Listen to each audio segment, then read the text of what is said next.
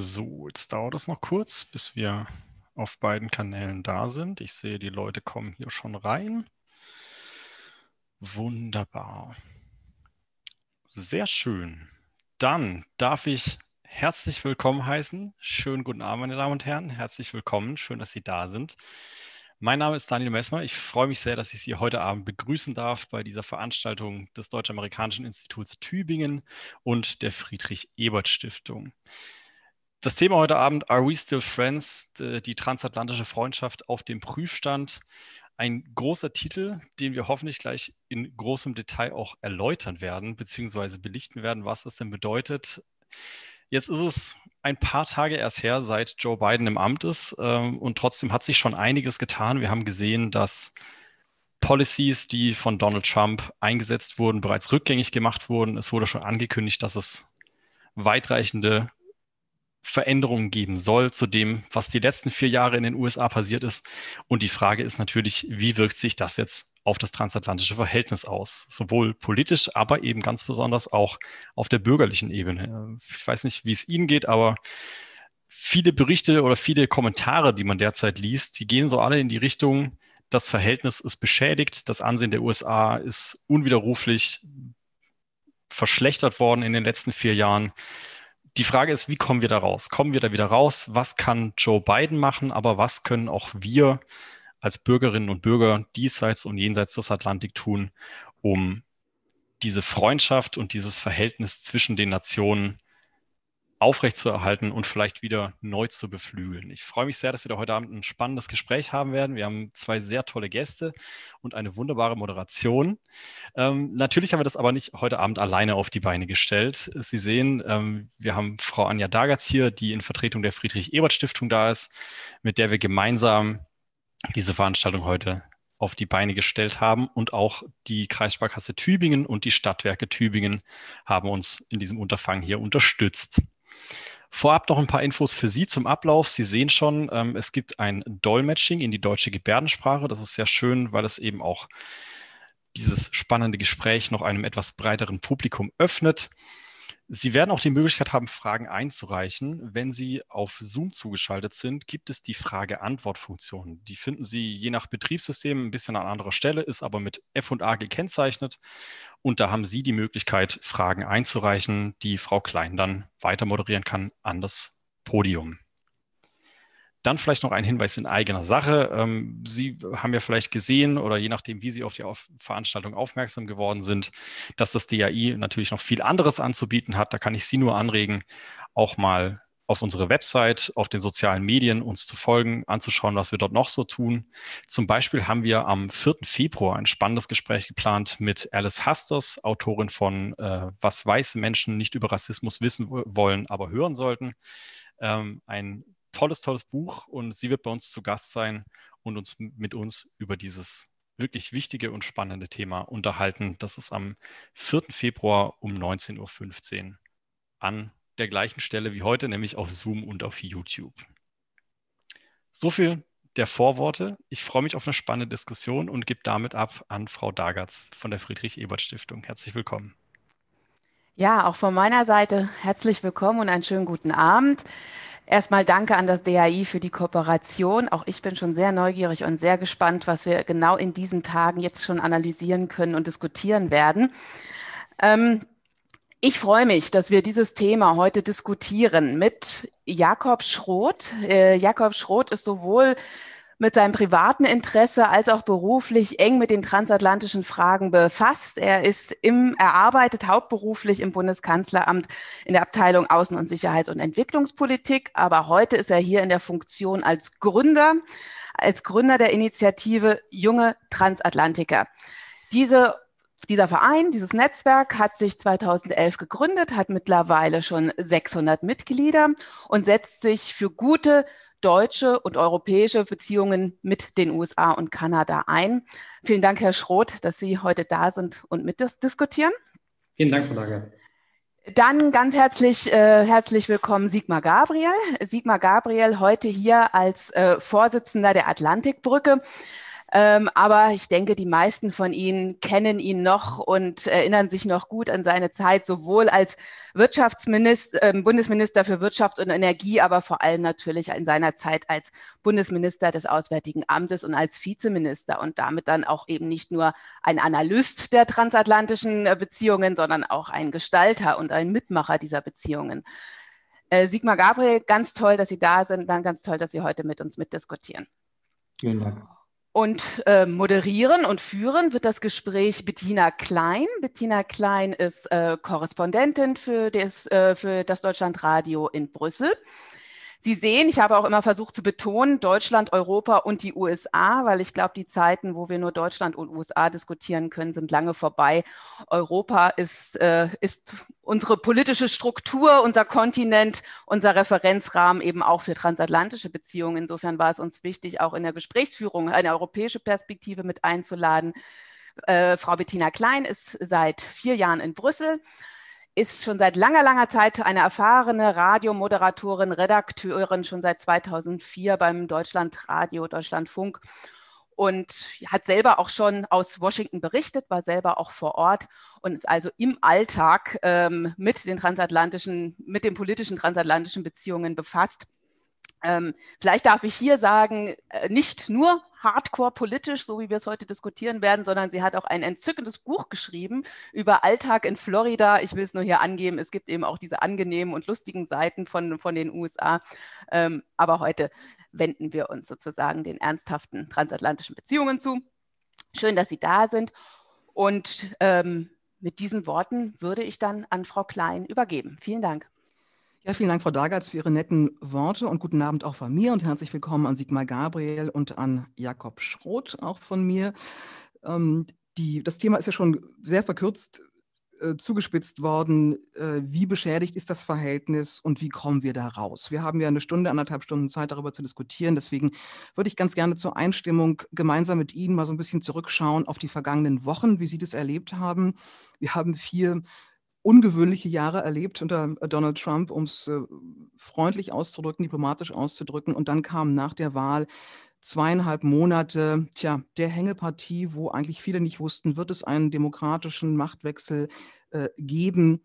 Was werden wir noch erleben? Und dann vor einer Woche, am 20. Januar genau, diese Normalität, die plötzlich wieder einsetzte, die Rede von Joe Biden auf den Stufen des Kapitol, man sah wieder sozusagen das Klassentreffen der früheren Präsidentenpaare dort und plötzlich sind wir, das wäre jetzt meine Frage, wieder in eine Art Normalität eingetreten in den Vereinigten Staaten von Amerika.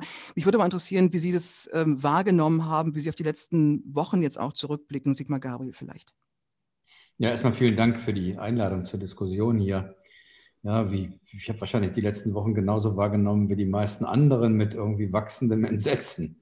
Also äh, Donald Trump war ja mal einiges gewöhnt, gewohnt, aber dass jemand sozusagen da äh, an dem Tag, an dem das, die Auszählung des Electoral College erfolgen soll, sich dahin stellt und die Menschen auffordert, die Pennsylvania Avenue raufzugehen und letztlich Capitol Hill zu stürmen. Das hat mich jedenfalls sehr erinnert an die Rede von, von Goebbels, Volk, steh auf und Sturm brich los. Da musste ich dran denken, auch wenn die Personen Gott sei Dank nicht vergleichbar sind, aber das Aufwiegeln der Menschen zum Sturm demokratischer Institutionen, das hätte selbst ich Donald Trump nicht zugetraut, das muss ich zugeben.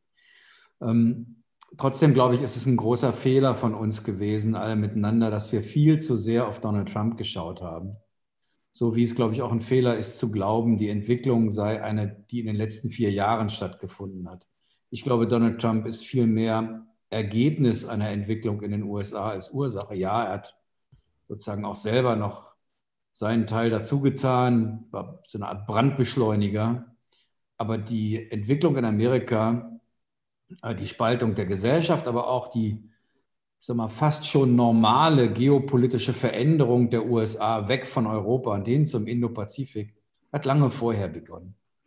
Und äh, ich glaube, damit und mit den mehr als 70 Millionen Menschen, die ihn nach vier Jahren gewählt haben, müssten wir uns mehr auseinandersetzen als mit ihm als Person. Wenn wir gleich noch darauf kommen, auch die Situation in den USA noch mal näher analysieren, bevor wir dann auf das transatlantische Verhältnis schauen und auch auf die konkreten Politikfelder, in denen wir jetzt gleich zusammenarbeiten oder wo es eben auch weiter Unterschiede gibt. Herr Schroth, die Frage habe ich mal an Sie. Wie weit, wie sehr wirkt das jetzt im Augenblick noch nach, was wir die vergangenen Wochen jetzt erlebt haben? Ähm, sozusagen eine Art Traumabewältigung, dass nicht klar war, ob es sozusagen wirklich zu einem friedlichen Machtwechsel in den USA kommen wird, nachdem Trump eben sozusagen das nicht anerkannt hat, das, das Wahlergebnis. Wie, wie sehr wirkt das noch nach? Ja, ich würde sagen, so, so entsetzlich und so schockierend das auch war, desto größer ist jetzt der, sagen wir mal, das, das Aufatmen angesichts der Normalisierung und dessen, dass der verfassungsgemäße Prozess bei der Peaceful Transition of Power am Ende des Tages auch gehalten hat, dass die demokratischen Institutionen gehalten haben, bis hoch zum Supreme Court, der ja keine unbedingt demokratische Mehrheit hat, um es vorsichtig zu formulieren. Und ich glaube schon, dass jetzt die letzten Tage und Wochen hin zu der Transition nach dem Sturm des Kapitols, wo man dann schon auch gemerkt hat, dass durch die Parteireihen doch ein Schockmoment ähm, gelaufen ist, dass sich dann doch jetzt gezeigt hat, die Institutionen, die, die halten und die schaffen diesen demokratischen Prozess, der in der Verfassung angelegt ist, die das Land seit über 240 Jahren vollzogen hat und auch dieses Mal ähm, wieder erfolgreich ähm, vollzogen hat. Und ich glaube, jetzt ist die Gefühlslage eher eine des Aufbruchs. Joe Biden hat ja sehr, sehr groß vorgelegt in seinen ersten Tagen im Weißen Haus mit der Ankündigung, dass die USA dem Pariser Klimaabkommen wieder beitreten werden, dass die USA der Weltgesundheitsorganisation wieder beitreten werden, mit den entsprechenden Maßnahmen, die der Präsident per Präsidialdirektive ergriffen hat im Bereich der Corona-Bekämpfung, im Bereich der Einwanderung und natürlich auch das große Motto Rebuilding Alliances, wenn es über, um die transatlantischen Partner geht und die klassischen Verbündeten in der, sagen wir mal, Prä-Trump-Zeit. Und ich denke, jetzt ergibt sich mittlerweile so ein Gefühl der, der Hoffnung, des Aufbruchs. Und ähm, ich denke, das konkrete Arbeiten, dass es nicht nur bei Hoffnung, sondern auch zu Ergebnissen dann kommt, auch im transatlantischen Bündnis, ist die beste Traumabewältigung, die man da vollziehen kann. Wie wichtig, Herr Gabriel, ist es, dass eben die Institutionen gehalten haben, sage ich mal, dass die Demokratie ähm, gehalten hat und dass wir eigentlich wieder sagen können, im Grunde genommen sind die USA, was das angeht, weiterhin ein Vorbild, während man in Europa, vielleicht auch in Deutschland schon so eine Art Abgesang letzten Endes gehört hat. Wir kommen vielleicht noch darauf, wie, wie beschädigt auch das transatlantische Verhältnis auch auf, auf Bürgerebene geworden ist. Aber muss man stärker den Fokus auch darauf lenken, dass diese sehr alte Demokratie eben auch diesen Stresstest bewältigt hat und dort jetzt eben mehr oder weniger es normal in Institutionen weitergeht. Bewältigt hat, haben die Vereinigten Staaten diesen, wie Sie das nennen, Stresstest ganz gewiss noch nicht.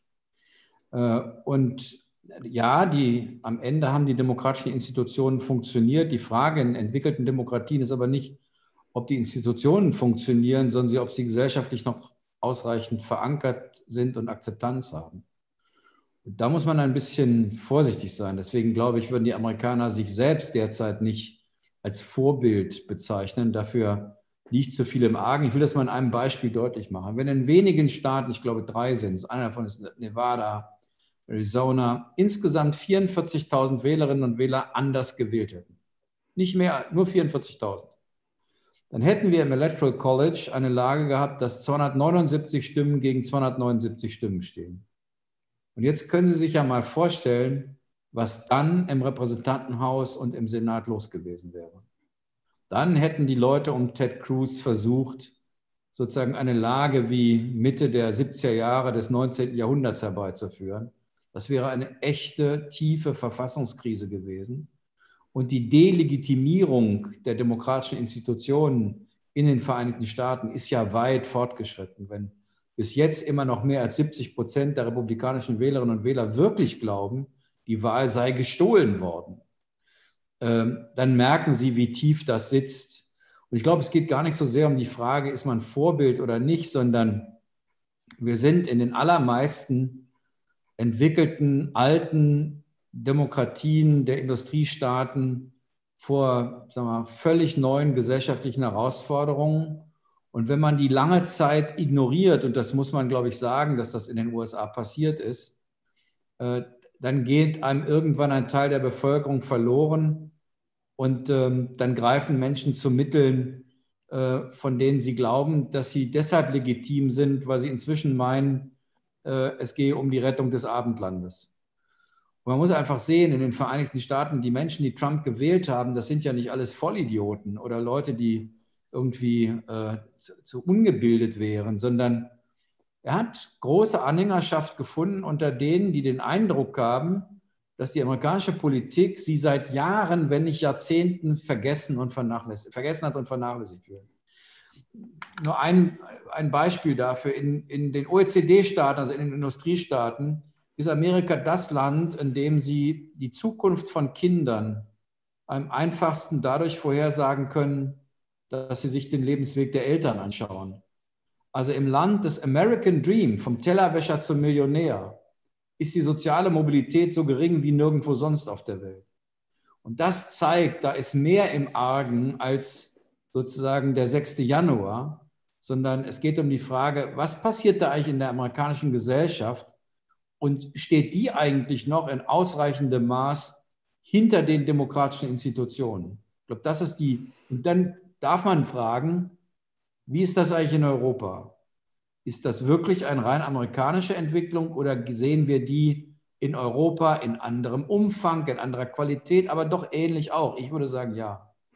Kommen wir noch drauf, Herr Schot, vielleicht nochmal, wir haben die strukturelle Analyse von Sigmar Gabriel gerade gehört. Vielleicht kann man sogar sagen, dass die USA das, wovon weltweit sehr viele Länder auch betroffen sind, vieles bis ins Extrem durchgespielt haben. Ja, dazu gehört ja auch die Digitalisierung. Wie können Online-Netzwerke benutzt oder sogar missbraucht werden, ist nochmal ein extra äh, Punkt. Demokratie hing am seidenen Faden, äh, hat Herr Gabriel gerade gesagt was bedeutet denn das für das, für das transatlantische Verhältnis im Augenblick und dafür, dass sozusagen das Vertrauen in die Demokratie möglicherweise eben auch hier und auch in Europa nicht mehr so gefestigt ist wie vielleicht noch vor ein paar Jahrzehnten? Naja, ich glaube, um die Frage zu beantworten, muss man schon ein bisschen auch in die amerikanische Geschichte gucken. Und ich bin sehr skeptisch bei Aussagen wie, dass die amerikanische Gesellschaft noch nie so gespalten war wie heute. Ich glaube, wenn man Abraham Lincoln 1865 fragt bei 200.000 Bürgerkriegstoten, ob die amerikanische Gesellschaft gespalten war oder nicht, hätte er auch eine Antwort. Und wir haben in den 60ern und 70ern mit den ähm, Gesetzen für Civil Rights Act etc. auch massivste Ausschreitungen in der amerikanischen Gesellschaft gehabt. Wir hatten vor dem Ersten und dem Zweiten Weltkrieg massive Ausschreitungen über die Frage, was ist die amerikanische Rolle mit tiefer, tiefer Spaltung der amerikanischen Gesellschaft. Es ist völlig unbestritten, dass die amerikanische Gesellschaft gespalten ist in einer Art und Weise, die das Potenzial hat, die Demokratie zu beschädigen. Aber ich glaube, dass manchmal so ein bisschen in diesem Narrativ Amerikas ein gespaltenes Land und es gibt ja eigentlich keinen Tag, vorbei, dass nicht ein neues Buch erscheint mit Titeln Die zerrissenen Staaten von Amerika, die gespaltenen Staaten von Amerika, die uneinigten Staaten von Amerika, dass das auch so ein bisschen, auch ein bisschen auf ein Licht auf, uns eigen, auf, auf unsere eigene politische Kultur wirft. Denn die USA war nie eine Konsenskultur, die sozusagen als eine große Masse in eine Richtung ähm, geleitet wurde, sondern das Land in seiner ganzen Diversität und Vielfältigkeit spiegelt sich auch in der Vielfalt und Diversität der Meinungen wider. Der Unterschied von heute zu sicherlich im Vergleich der letzten Jahrzehnte ist, dass dieser Diskurs nicht mehr einer ist zwischen Meinungen und Fakten, sondern ganz stark zwischen Werten, zwischen, zwischen einer Vermischung von Glauben und Politik, wo es nicht mehr um den Meinungsaustausch auf einer sachlichen Ebene geht, sondern um eine starke Identifikation auch mit einem politischen Lager, was der Diskussion nicht mehr möglich macht. Und das macht mir das macht mir schon Sorgen. Ich würde allerdings noch hinzufügen wollen, es gibt noch so einen kleinen Unterschied zwischen ähm, des, den Glauben der Amerikaner Institutionen und den Glauben der Amerikaner an die Verfassung. Die Vereinigten Staaten haben nach wie vor einen großen Konsens auf, in allen Lagern, was die, was die amerikanische Verfassung betrifft.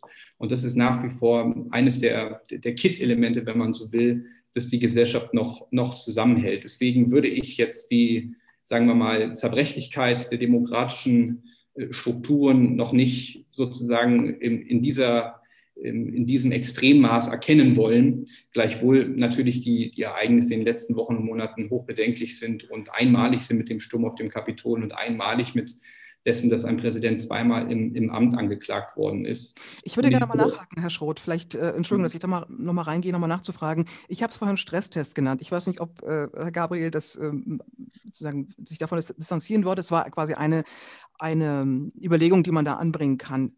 Herr Schroth, sagen Sie mal ein, ein paar Punkte, sozusagen, wo jetzt Reformbedarf als allererstes angezeigt ist. Also wir haben ja gesehen, dass bestimmte Dinge nicht gesetzlich geregelt sind. Zum Beispiel muss der Präsident oder der Kandidat nicht seine Steuererklärung offenlegen, ja. weil man bisher es nicht für möglich gehalten hat, dass so jemand es ins höchste Amt schafft. Äh, die Rolle des Geldes, der, der, der, ähm, der, der, sozusagen der Spender äh, ist ein Punkt. An welchen, geben Sie uns zwei, drei Beispiele, an welchen Punkten müsste die amerikanische Demokratie jetzt äh, nachbessern? Was sagen Ihnen Ihre amerikanischen Gesprächspartner da? Naja, also erst einmal, ähm, glaube ich, steht das Thema Kampagnenfinanzierung ganz weit oben. Äh, der amerikanische Wahlkampf ist einer, der mittlerweile extrem von, von Spenden ähm, getrieben wird. Da gibt es verschiedene Entscheidungen von dem Supreme Court, die ähm, die darauf hindeuten, dass sozusagen Money gleich Free Speech gleichgesetzt wird. Und das führt dazu, dass, dass Kampagnen ganz stark natürlich auch von, von Finanzquellen abhängen, ob die erfolgreich sind oder nicht. Und, und das ist sicher ein Reformbedarf, den auch beide Lager im Übrigen anerkannt haben. Das Zweite, was so Steuererklärung und Transparenz angeht, absolut. Aber diese Debatte, die ist in Amerika schon einmal laufen. Aber ich glaube, es gibt wirklich keinen Reformbedarf bei, bei, beim Verfassungsgang. Denn wenn es im Electoral College einen Gleichstand gegeben hätte, dann gibt es in der Verfassung ein entsprechendes Verfahren, das da geregelt worden ist. Dann wäre nämlich im Repräsentantenhaus es einer zu, zu, einer Abstimmung gekommen, bei dem aber nicht die einfachen Mehrheitsverhältnisse einer normalen Repräsentantenhauswahl zum Tragen kommen, sondern jeder amerikanische Bundesstaat, also 50 an der Zahl, hat entsprechend eine Stimme und die Mehrheit entscheidet. Und das wäre die Mehrheit, die stellen die Republikaner in den Bundesstaaten und somit hätten die Republikaner da eine Mehrheit bekommen. Da hätte es in der Tat dann eine Verfassungskrise dahingegen gegeben, dass ähm, natürlich, oder Verfassungskrise, aber wieder erhebliche Bedenken, weil dann natürlich der Abstand im Popular Vote, also in den absolut abgegebenen Stimmen zwischen Biden und Trump, nochmal frappierender wäre, wenn der Verfassungsprozess dann einen anderen Kandidaten ergeben hat. Letzter Punkt, das ganze Thema Electoral College ist ja eins, das sozusagen seit Gründung dieser Institution hin und rauf diskutiert wird und, und es gibt gute Argumente dafür und dagegen, es beizubehalten. Wir in Deutschland haben ja guten Reformbedarf bei unserem Wahlprozess. Das sollten wir auch unsere eigene Nase des Öfteren mal fassen. Aber das sind so drei Punkte, die hm. ich sagen würde. Finanzen, Transparenz bei den Kandidaten auch und das dritte eine ernsthafte Diskussion, ob das Electoral College heute noch so nötig ist. Herr Gabriel, um das vielleicht dann noch abzuschließen, nochmal die Analyse der Situation in den USA selbst. Wenn Sie sagen, ähm, die Hälfte des Landes oder die 70 Millionen Wähler von Donald Trump stehen eigentlich nicht mehr in den Institutionen, sie sind, sagen, werden nicht mehr mitgenommen. Ähm, aus Ihrer Sicht, was sozusagen ist das Erste, was Biden da jetzt einleiten muss, um diese Trump-Wähler zum Beispiel, aber eben auch andere Teile der Bevölkerung ähm, wieder mitzunehmen und wieder an Bord zu holen? Jedenfalls nicht eine Wahlrechtsreform ich muss ganz offen sagen, ich, seien Sie mir nicht böse, Herr Stroth, ich halte das, wie Sie das beschreiben, für eine Verniedlichung des Problems. Es gab in der Geschichte Amerikas noch keinen Präsidenten, der einen Innenminister eines Landes angerufen hat und gesagt hat, du, ich brauche jetzt mal 11.700 Stimmen von dir. Es gab noch nicht 100 Abgeordnete des Repräsentantenhauses, die nach dem Sturm aufs Kapitol noch versuchen, die Wahl anzufechten.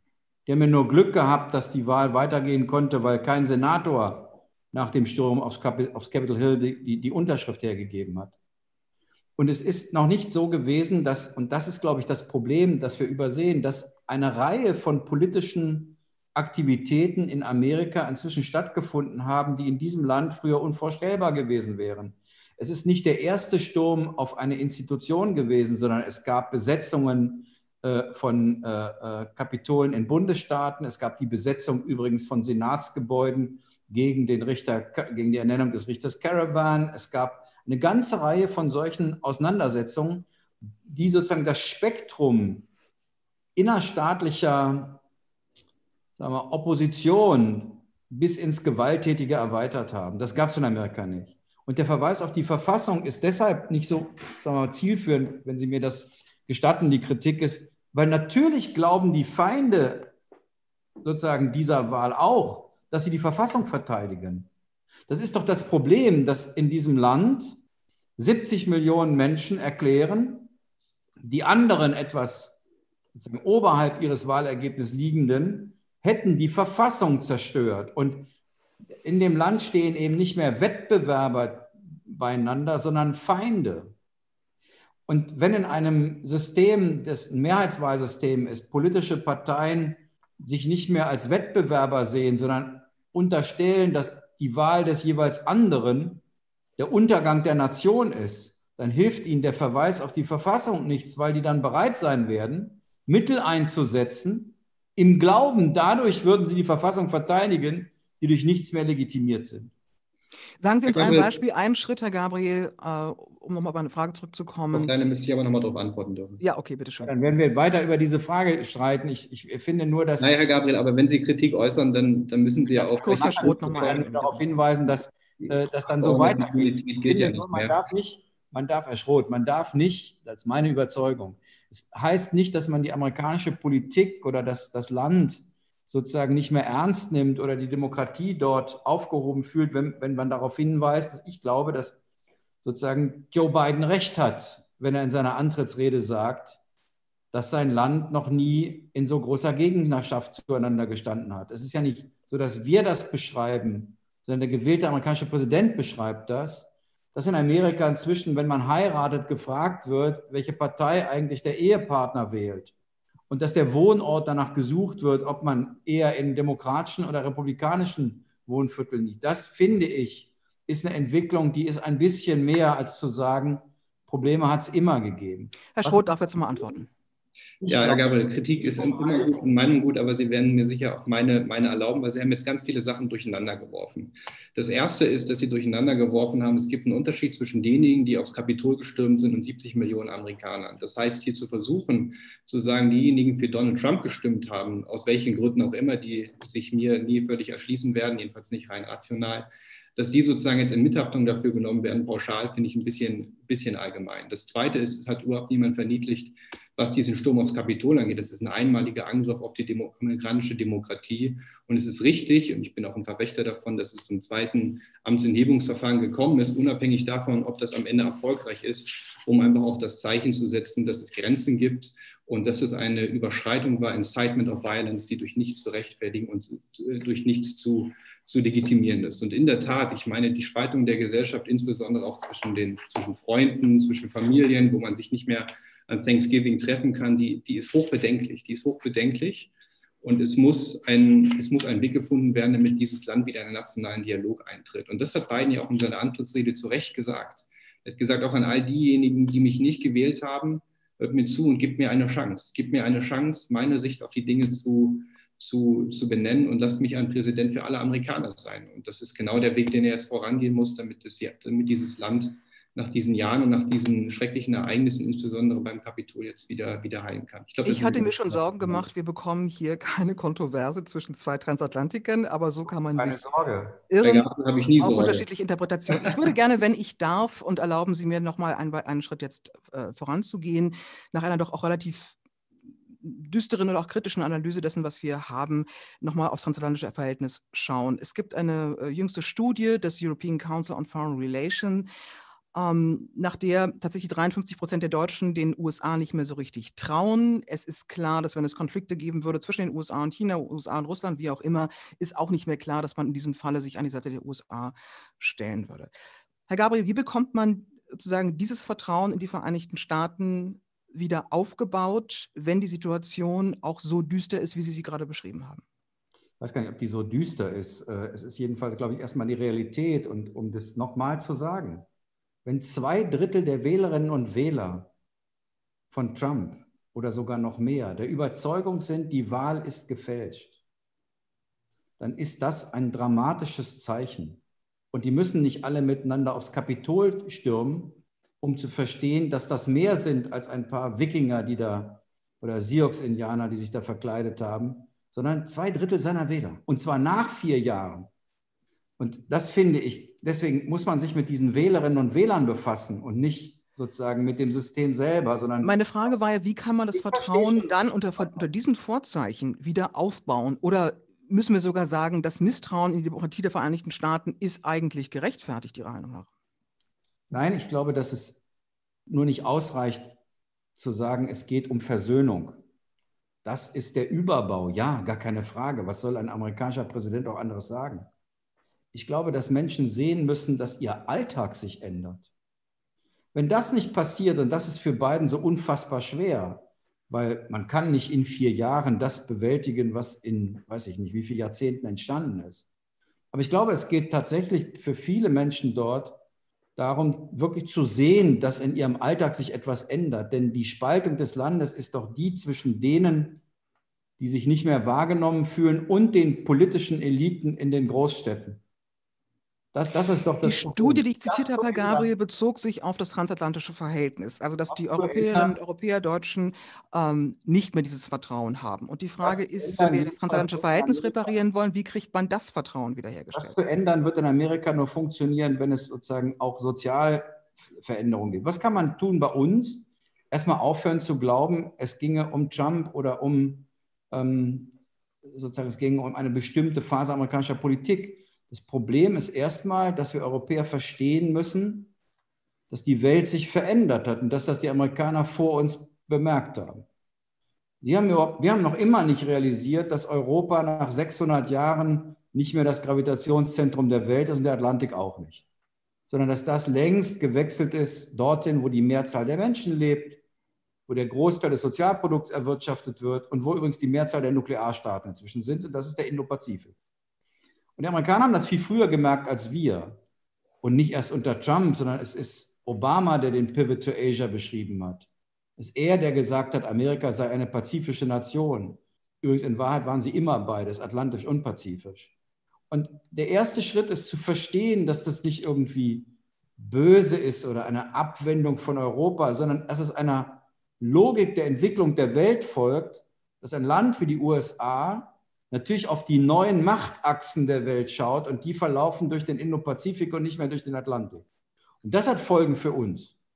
Das hat Folgen für uns, dass Amerika nicht mehr sozusagen, wir unsere globalen Interessen nicht mehr länger auf amerikanische Flugzeugträger projizieren können. Es hat für uns zur Folge, dass wir, dass die schönen Zeiten, wo wir vier Jahre lang einen hatten im Weißen Haus, der an allem schuld ist, dass das auch vorbei ist und dass wir merken werden, dass die Welt für uns anstrengender wird. Erst wenn wir das verstanden haben, erst dann wird es Möglichkeiten geben, mit den Amerikanern wieder nach Interessenüberschneidungen zu suchen, weil natürlich es nicht um Freundschaft geht. Die, Amerikaner stehen uns näher kulturell, politisch und gesellschaftlich als jedes andere, jeder andere Teil der Welt. Aber es geht in dem Verhältnis zwischen Europa und den USA erstmal um die Frage, welche Interessengemeinsamkeiten haben wir? Und dazu muss man verstehen, dass die Amerikaner einer anderen Logik folgen, als sie das die letzten Jahrzehnte seit 1945 gemacht haben. Und dass das normal ist, wir sogar froh sein müssen, wenn die Amerikaner im Indo-Pazifik für die Balance sorgen, die wir nicht herstellen können. Wenn das gelingt, dann werden wir mit Joe Biden wieder jemanden haben, der umgekehrt Interesse an Allianzen hat. Herr Schroth, der Unterschied zu Trump, das, dass wir jetzt jemanden haben, der sich für uns interessiert. Okay, Herr Schroth, wie stellen wir das Vertrauen, das verloren gegangene Vertrauen, wenn wir darüber sprechen, wie bauen wir das transatlantische Verhältnis wieder auf, auch das Vertrauen zwischen Bürgerinnen und Bürgern, wie kann es unter den Vorzeichen wieder aufgebaut werden, wenn das Misstrauen auch in der amerikanischen äh, Demokratie, auch diesseits des Atlantiks, so gelitten hat? Fange gleich mit dem letzten Punkt an, nämlich wie das zwischen den Bürgern wieder aufgebaut werden kann. Ganz wichtig sind Institutionen wie das Deutsch-Amerikanische Institut in Tübingen oder beispielsweise auch natürlich die Atlantikbrücke oder Amerikahäuser und ESM-Institut und andere transatlantische Organisationen, die Austausch ermöglichen, wo Leute sich begegnen, um einen Tisch sich hinzusetzen und, und auch parteiübergreifend, lagerübergreifend, um Verständnis für den jeweils anderen zu schaffen. Das heißt, ähm, wenn ich mir anschaue, wie beispielsweise vom State Department in den letzten Jahren Austauschprogramme transatlantischer Natur auch finanziell unter Druck gekommen sind, macht mir das Sorge. Und dieser zivilgesellschaftliche Nährboden, der ist ja ganz, ganz entscheidend und ganz wichtig, um dann auch einen politischen Überbau zu haben. Und deswegen, deswegen hoffe ich, dass jetzt auch in den nächsten Jahren hier ähm, tatsächlich auch wieder, wieder mehr passiert, auch von amerikanischer Seite. Und das Interesse sozusagen nicht nur hauptsächlich von Deutschland ausgeht, sondern auch von den, von den USA und entsprechenden Partnerinstitutionen. Und was das politische Verhältnis geht, angeht, glaube ich, wird es jetzt einfach darum gehen, an konkreten Problemen, an konkreten Themenfeldern, die vor uns liegen, tatsächlich vertrauensvoll zusammenzuarbeiten und zu schauen, dass wir jetzt nicht nur sozusagen in unseren Sonntagsreden über Zusammenarbeit, Multilateralismus und Co. reden, sondern die Themen tatsächlich anpacken. Und da gibt es eine ganze Reihe von ganz akuten Themen, die jetzt auf der Tagesordnung stehen. Afghanistan ist wahrscheinlich das drängendste aufgrund der entsprechenden Deadline, die sich die Amerikaner dort gesetzt haben. 1. Ähm, Mai. Das zweite ist auch Iran, ähm, ein Thema, wo es dann darum gehen wird, ob wir transatlantisch schnell gemeinsame Positionen finden werden. Und natürlich, wie Herr Gabriel sagt, die, die großen übergreifenden Themen. Und da ist natürlich Indo-Pazifik und China an, an Platz eins. Und da hoffen wir oder hoffe ich persönlich, dass im wir überhaupt erst wieder äh, sozusagen die Möglichkeit haben eines Austauschs und die Möglichkeit haben, eine gemeinsame Strategie zu entwickeln. Das war in den letzten Jahren nicht unbedingt immer möglich, wenn es dann also immer um Alleingänge ähm, ähm, ging. Das heißt, konkret Politik machen, konkret an den Themen arbeiten, konkret eine gemeinsame Vision entwickeln, an diesem Thema auch tatsächlich, auch tatsächlich ähm, arbeiten. Und ich denke, das ist der, ist der richtige Weg auf politischer Ebene, um Vertrauen wiederzugewinnen. Hm. Herr Gabriel, ich habe Ihre, äh, Ihren Hinweis darauf, dass Pivot to Asia ja unter Obama schon begonnen hat, ähm, auch so verstanden, dass natürlich, das, darüber diskutieren wir seit einigen Wochen und Monaten, dass Europa sozusagen sich äh, stärker besinnen muss, was es selber tun kann, wie verlässlich es als Partner ähm, äh, geworden ist. Ich würde gerne ein paar äh, Zuschauerfragen auch mit einbeziehen. Michael Alber hat uns hier geschrieben, wie kann es uns, Deutschland, Europa gelingen, einerseits wesentlich selbstbewusster und unabhängiger von den USA zu werden und zugleich die Zusammenarbeit wieder zu intensivieren und zu erneuern. Herr Gabriel, fällt Ihnen da was zu ein? Ja, ich meine, das äh, versucht die Bundesregierung ja und Europa ja gerade, indem sie auf der einen Seite sich zu ihren Interessen bekennt und nicht so tut, als gäbe es die nicht und auf der anderen Seite mit den Amerikanern in den Feldern, die zum Teil Herr Schroth genannt hat, es gibt noch ein paar mehr, die Low-Hanging Fruits dürften in der Energie- und Klimapolitik liegen, äh, Zusammenarbeit zu suchen. Aber es wird einfach Felder geben, nehmen wir mal China. Für China ist für Amerika eine geostrategische Herausforderung. Da sitzt die Weltmacht, mit der sie konkurrieren, über die Vorherrschaft in der Welt.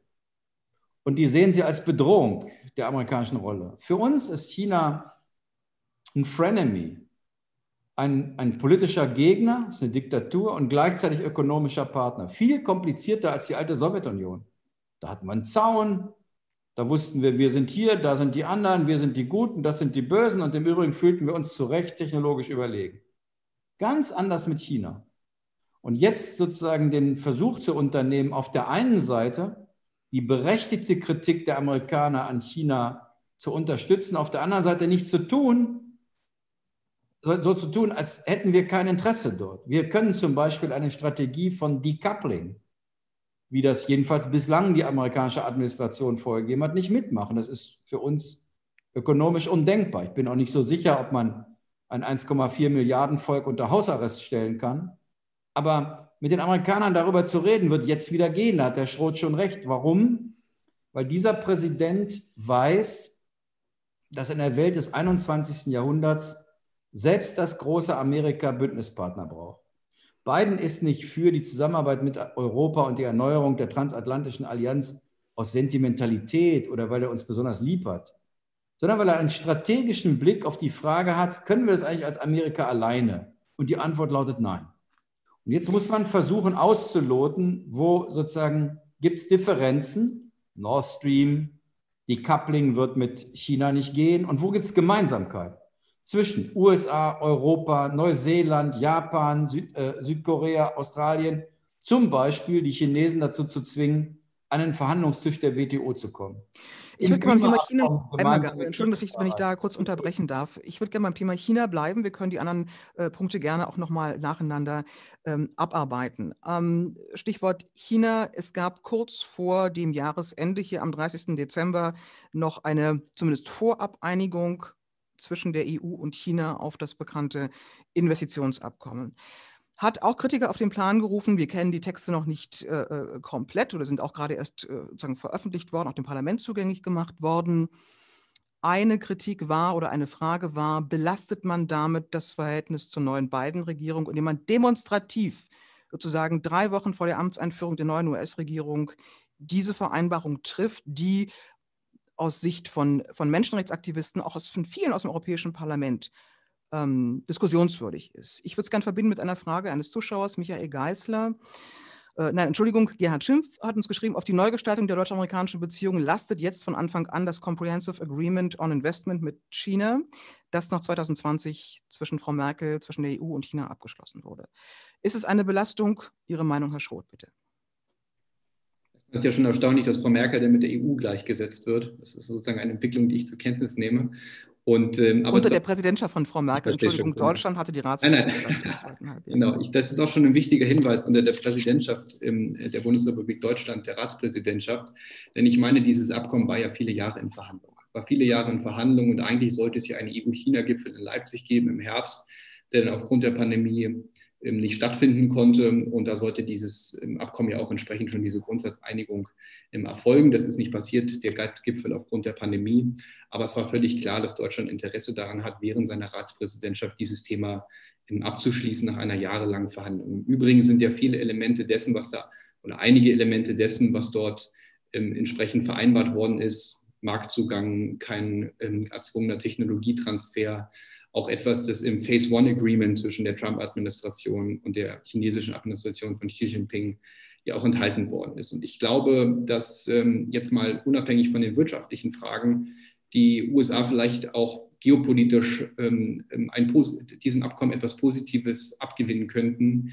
Nicht dahingehend, dass ja neben den wirtschaftlichen Erwägungen dieses Abkommen zeigt, dass, dass wir es geschafft haben, China in sozusagen eine regelbasierte Handelsordnung zumindest ein kleines Stück zu bewegen, dass wir mit China uns an einen Verhandlungstisch gesetzt haben und gesagt haben, wir müssen uns auf bestimmte Regeln einigen und sozusagen die Stärke des Rechts hier gelten lassen und nicht nur die, die, das, das Recht des Stärkeren. Und das ist eigentlich etwas, an das auch die Vereinigten Staaten entsprechend ein Interesse haben sollte. Ich glaube, dass man da nicht so viel reinlesen sollte an dieser zeitlichen Koinzidenz, dass also wenige Wochen vor der Amtseinführung dieses Abkommen abgeschlossen worden ist und ich meine, wenn, wenn jetzt, ich meine jetzt, wenn jetzt die Europäische Union oder auch die Bundesrepublik Deutschland sagen würde, wir schließen jetzt dieses Abkommen nicht ab, ähm, weil es jetzt in zweieinhalb Wochen eine neue US-Administration gibt, dann würde das ja sozusagen auch sofort wieder die Kritik begründen, dass die Europäische Union nicht in der Lage ist, als eigenständiger Akteur zu agieren, als eigenständiger Akteur auch auf Augenhöhe mit internationalen Partnern zu agieren. Und deswegen denke ich, ist es richtig, dass diese Vorabeinigung ähm, passiert ist. Es gibt gute Gründe, warum Deutschland die Handelspolitik abgegeben hat nach, äh, zur, zur Europäischen Kommission, damit wir als gemeinsamer Block der EU 27 auf Augenhöhe mit den Großen verhandeln können. Und ich würde jetzt da nicht zu viel reinlesen, dass das jetzt sozusagen noch ein böses Abschiedsgeschenk gegenüber Donald Trump war oder sozusagen ein, ein äh, ja, böses Willkommensgeschenk für, für, für Joe Biden. Gut, das Parlament, Europäische Parlament muss dem bekanntlich noch zustimmen. Das wird alles noch relativ lange Zeit dauern und noch schwierige Verhandlungen geben. Noch eine Menge Diskussionsbedarf sehen die Abgeordneten ähm, dort auch.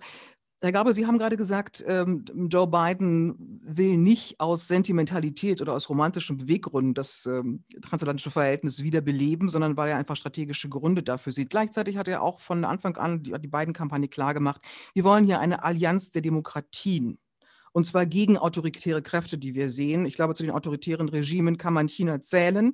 Man kann, wenn man sozusagen die, die Entwicklung der vergangenen Tage in Russland sieht, möglicherweise auch die derzeitige russische Führung dazu nehmen. Wie wichtig ist es, dass Europa, dass auch Deutschland an der Stelle jetzt mit der neuen amerikanischen Regierung zusammenarbeitet, auch eben um die Demokratien weltweit zu stärken? Ja, also das ist ein wunderbarer Satz. Und den wird jeder unterschreiben. Wir werden sofort sagen, na klar, machen wir immer. Die Frage ist doch nur, was heißt das konkret? Genau. Bedeutet das, wir steigen ein in eine Sanktionspolitik der Länder, die unseren demokratischen Maßstäben nicht standhalten? Da würde ich sagen, nein. Das wird übrigens auch Biden nicht machen. Er wird auch sozusagen das, was Trump überdehnt hat, die sozusagen das, das Mittel der Wahl bei Trump war ja gegen alles und jeden Sanktionen einzusetzen. Ich glaube nicht, dass die Europäische Union das mitmachen wird. Warum nicht? Weil in Wahrheit natürlich Interessen existieren, die zum Teil unterschiedlich sind. Bei Menschenrechten sind die Interessen identisch, aber bei der Frage sozusagen ökonomischer Interessen sind sie unterschiedlich. Übrigens, da hat dann die USA auch überhaupt kein Problem, wenn sie kein Öl mehr aus Venezuela äh, beziehen will, sich das in Russland zu bestellen. Und zwar ungefähr in dem Finanzvolumen, in dem Nord Stream 2 Gas kaufen wird. Wir, warum, wofür ich plädiere, ist etwas, was in der Öffentlichkeit schwer zu erklären ist, weil alle sofort fragen, der verrät ja unsere Werte. Aber sich erstmal darauf zu verständigen, wir reden über Interessen und hoffen, dass wir mit denen, denen wir gesellschaftlich, politisch, kulturell viel näher zusammen sind als mit anderen, gemeinsam sozusagen die Welt jedenfalls mal in der Balance halten können. Das wäre schon mal eine ganze Menge. Der Versuch, sozusagen über Sanktionen andere Länder dazu zu bewegen, so zu werden, wie wir es sind, ich glaube, der ist hinreichend gescheitert. Der Versuch, das über Militärinterventionen zu machen, hat im Irak dazu geführt, dass wir den IS, dass der, sozusagen die, die das gemacht haben, den IS produziert haben. Also wird uns wohl nichts anderes übrig bleiben, als auf dem Weg von, wie nennt man das, antagonistischer Kooperation, immer wieder die Linie neu zu bestimmen, wie weit wir zusammen etwas tun können und was uns von anderen Systemen und Autokratien trennen. Da wird es keine Lösung geben, die da lautet, schwarz oder weiß, ja oder nein. Das ist sozusagen ein bisschen geschuldet der, der Lage in der Welt, bei der wir nicht gerade den Eindruck haben, dass die Demokratien auf dem Vormarsch sind. Also auf gar keinen Fall schwarz oder weiß. Ich glaube, um hier die Grauschattierungen auch deutlich zu machen, haben wir auch diese Veranstaltung heute. Ich habe allerdings bei Ihnen jetzt sehr stark rausgehört, Herr Gabriel, ein, ehrlich gesagt, ein eher ein Plädoyer allgemein gegen Sanktionen. Das verwundert mich jetzt insofern, wir können aber über den Fall Nord Stream 2 und die Sanktionen der USA sprechen. Zum Beispiel was jetzt ähm, Belarus angeht, was Moskau angeht. Natürlich hat die Europäische Union dort zumindest gezielte Sanktionen gegen äh, äh, Personen äh, zum Beispiel verhängt. Also ist das, was Sie sagen, jetzt ein Plädoyer gegen Sanktionen allgemein? Nee, wie das Leben so ist.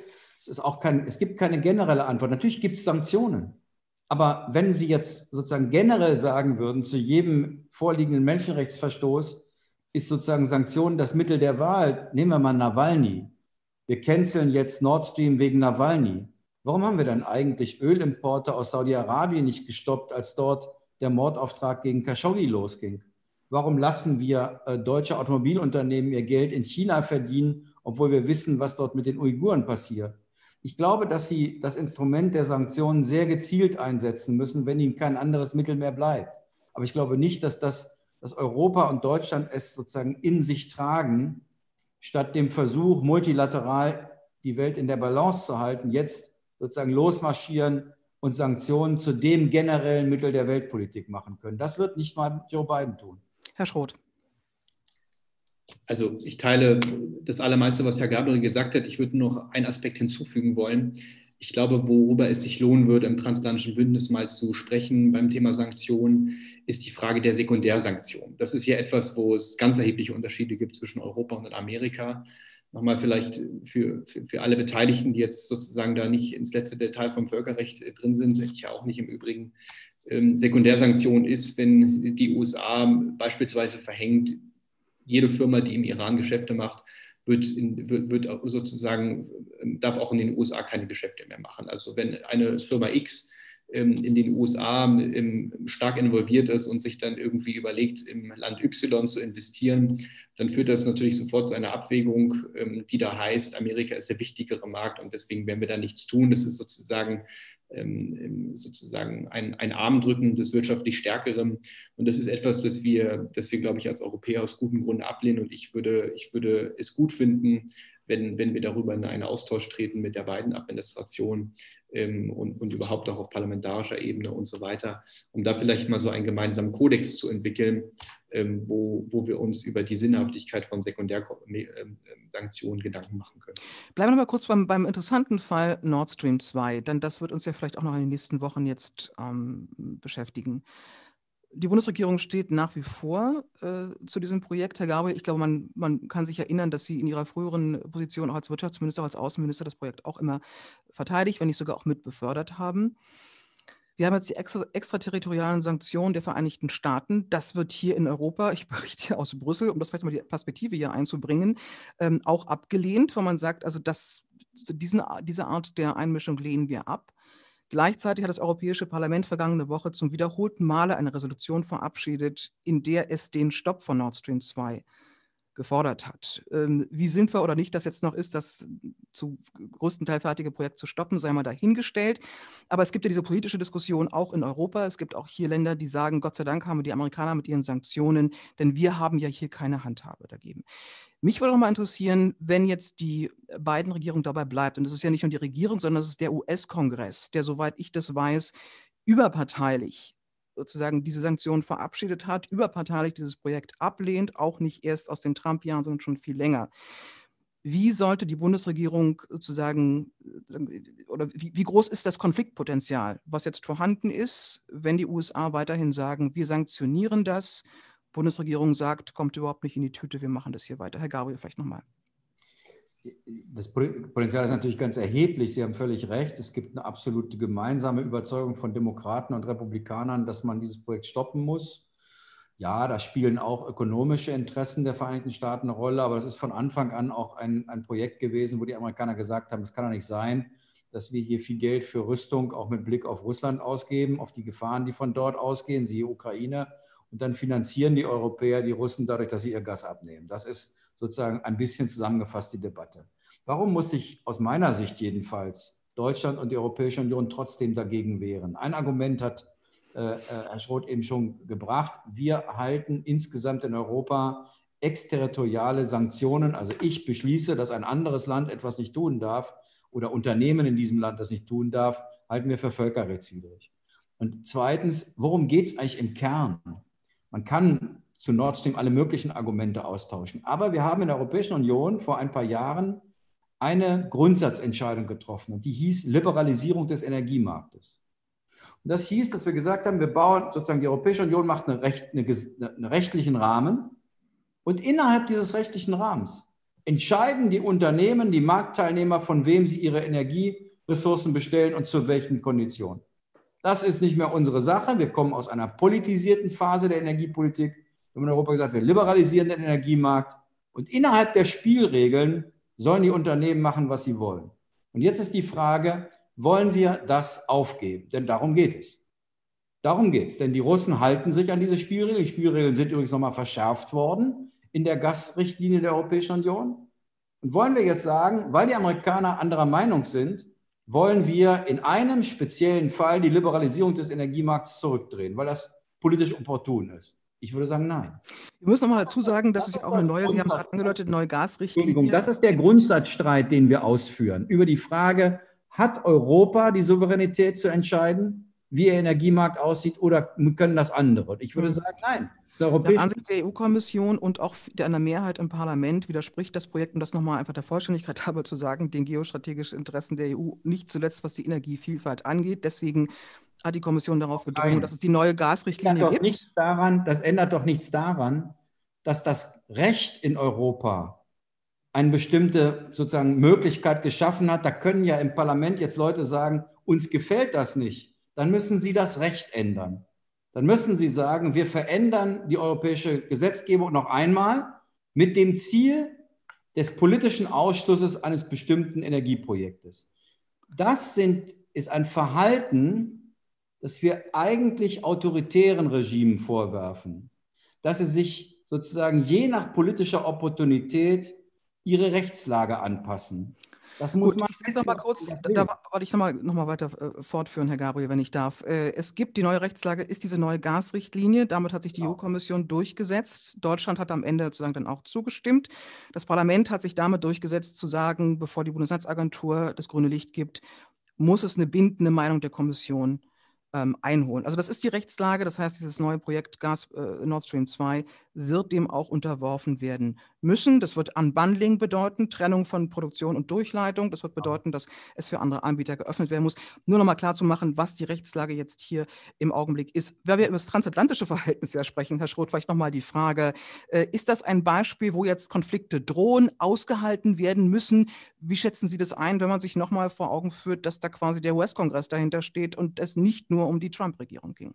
Ja, das sind Konflikte, die ausgetragen werden müssen. Das transatlantische Bündnis ist ja sozusagen keine, keine Einheitssoße, wo wir uns dann bei jedem Themenfeld und jedem Dossier am Ende des Tages einig sein müssen, sondern transatlantische Beziehungen sind ja auch deswegen so stark, weil sie belastbar sind, wenn wir mal Themen haben, wo wir, wo wir unterschiedliche Auffassungen haben. Herr Gabriel hat es vorhin schon gesagt, wenn man sich mal anschaut, für welche Summen die USA äh, russisches Öl, äh, Rohöl importieren, aufgrund der Venezuela- und auch Iran-Sanktionen, sind das ganz interessante Zahlen. Im letzten Jahr im Übrigen ist die Versorgung hier von Europa mit russischem Gas von 33 auf 30 Prozent gefallen, und zwar zugunsten von LNG aus den Vereinigten Staaten. Ich würde so ein bisschen um Verständnis bitten, dass ich mich jetzt in der Sache Nord Stream 2 hier ähm, nicht, nicht positioniere, aber, ähm, aber ich meine, ganz klar ist, dass dieses Thema auch, auch mit der neuen amerikanischen Administration natürlich auf der, auf der Agenda bleiben wird. Und ich denke auch, dass es schnell aufpoppen wird, denn ähm, wenn ich das richtig sehe, hat ja das Verlegeschiff jetzt wieder seine Arbeit aufgenommen bei den restlichen 100, 150 Kilometern, was es noch, noch sind, bis bis zur, bis, ähm, bis also sozusagen vollständig die Pipeline gelegt worden ist. Deswegen gehe ich davon aus, dass diese Unterhaltungen bald aufgenommen werden. Aber ähm, das hat jetzt nicht das Potenzial, das transatlantische Bündnis, glaube ich, zu, nachhaltig zu okay. Nicht zu beschädigen, aber ähm, sozusagen irreparabel zu beschädigen. Sagen okay, ich würde hier gerne mal einen kurzen Semikolon setzen. Also ich, mir war es wichtig, dass wir auch das Thema Nord Stream 2 hier auch nochmal diskutieren, auch mit unterschiedlichen äh, Perspektiven diskutieren. Über einen Punkt haben wir noch nicht angesprochen, Herr Gabriel, Sie haben das ja auch angedeutet, von wegen, wir können uns nicht, was die Formulierung war, jetzt nur noch auf die Flugzeugträger der USA verlassen. Das geht auch in die Richtung ähm, Europa, strategische Autonomie, um nochmal das große Wort ähm, zu verwenden und die Frage, was tun wir verteidigungspolitisch jetzt? Die Frage nach 2 Prozent, nukleare Teilhabe etc.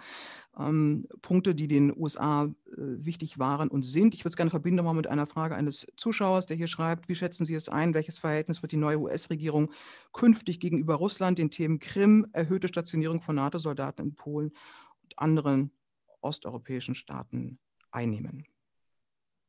Also, wenn die Frage an mich gerichtet ist, ich glaube, dass ähm, die neue Administration letztlich sich orientiert an dem, was seit Anfang der 60er Jahre NATO-Strategie ist. Nämlich auf der einen Seite verteidigungsfähig zu sein, auf der anderen Seite Dialog- und verhandlungsbereit. Ich meine, das erste, am ersten Amtstag des amerikanischen Präsidenten Biden hat er eine Verlängerung des New Start-Vertrages gemacht, also der Begrenzung äh, der äh, ballistischen Langstreckenraketen mit nuklearen Sprengköpfen. Das ist etwas gewesen, was Trump hätte auslaufen lassen. Also ein stärkeres Signal als ich will mit euch Russen wieder darüber reden, wie wir nukleare Gefahren bändigen, kann man ja gar nicht machen. Ich glaube im Übrigen, dass Russland in einer außerordentlichen Phase der mindestens mal ökonomischen Schwäche ist. Ich glaube auch politisch. Und es wäre ganz interessant, dass die Europäer und die Deutschen mit den Russen über die Frage, äh, mit den Amerikanern über die Frage reden, wie kann man dieses Verhältnis eigentlich ausbalancieren zwischen Verteidigungsfähigkeit und Klarheit in der mal, sicherheitspolitischen Frage und gleichzeitig Angebot an Verhandlungen und zur Entspannungspolitik. Ich glaube, dass mit beiden sowas viel besser funktionieren kann als mit, äh, mit, ähm, äh, mit Donald Trump. Äh, insgesamt glaube ich, dass wir allerdings aufhören müssen, zum Beispiel die Debatte über das NATO-2-Prozent-Ziel immer an den Amerikanern festzumachen. Ich meine, es sind die Franzosen, die uns sagen, Leute, jetzt muss aber mal Schluss sein, dass wir in Mali immer kämpfen und ihr fotografiert nur.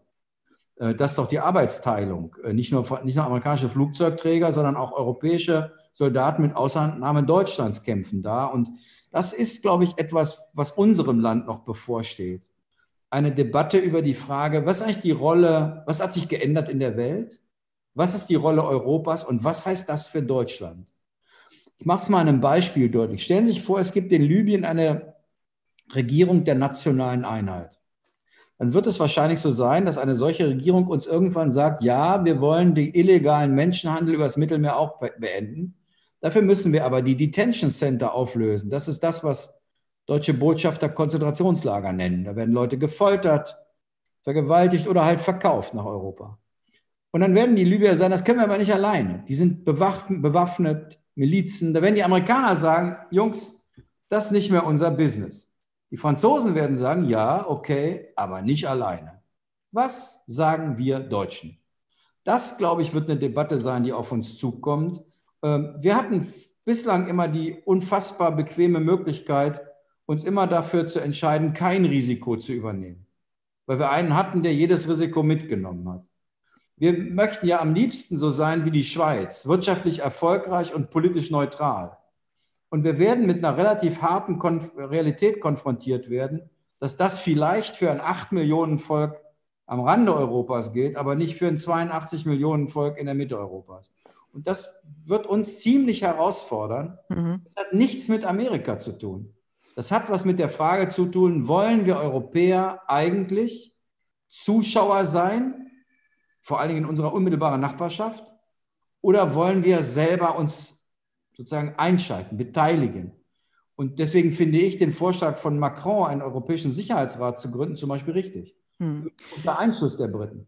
Herr Schroth, welche Diskussion steht äh, äh, Deutschland da bevor? Herr Gabriel sagt zu Recht, das kann man nicht an den Amerikanern festmachen. Dennoch wird es ja immer genau so eigentlich diskutiert. Also ja, die Amerikaner verlangen von uns dieses oder jenes. Welche Diskussion muss Deutschland jetzt führen?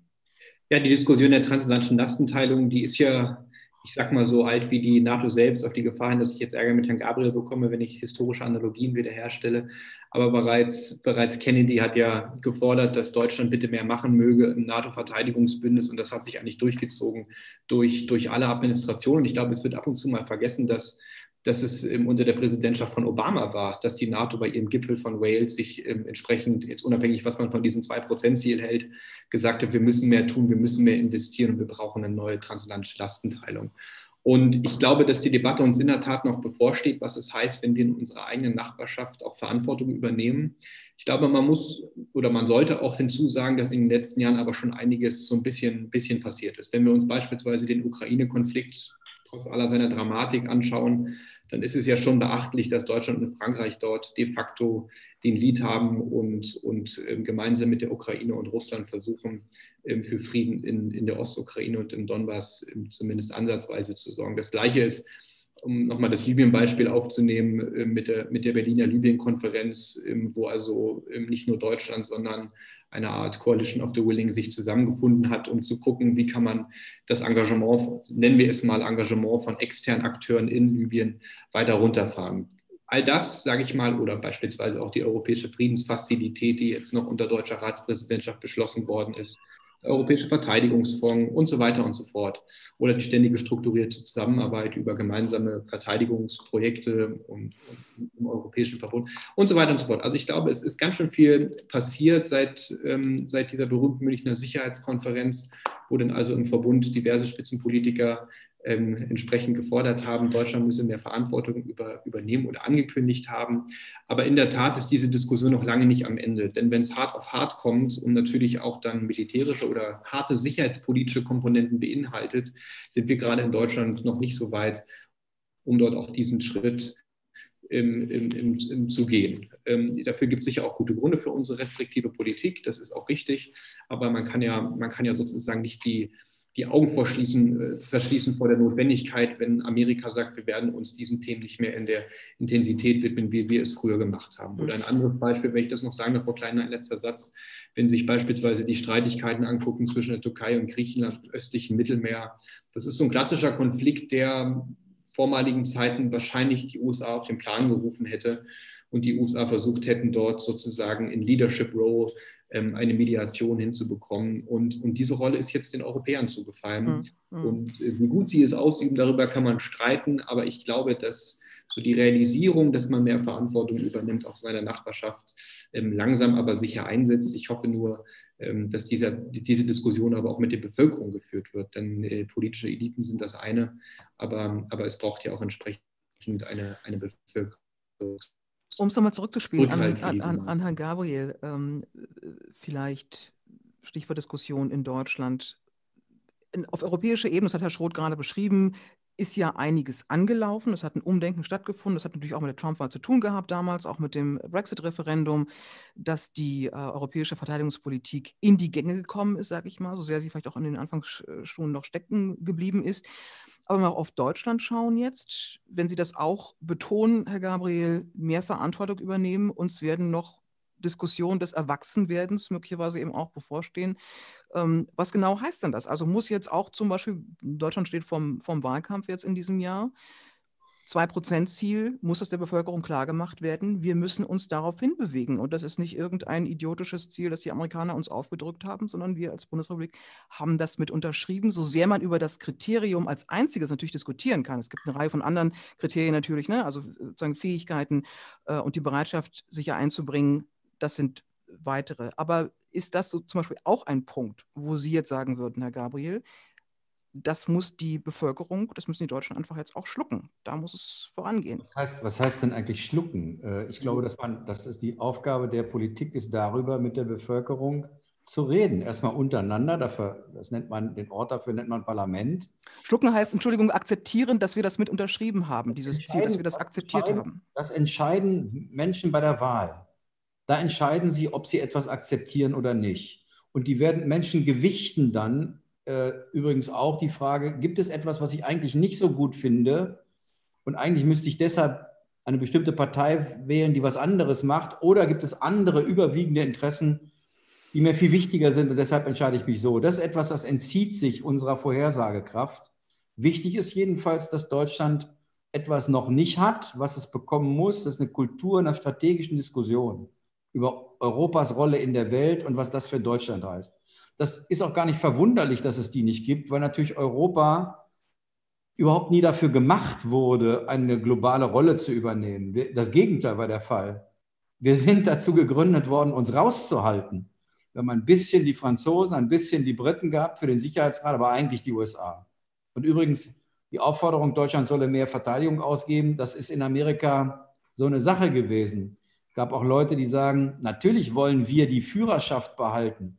Wer weiß, was die Brüder in Europa machen, wenn sie die militärischen Fähigkeiten alleine haben. Das hat sich ja sehr gewandelt.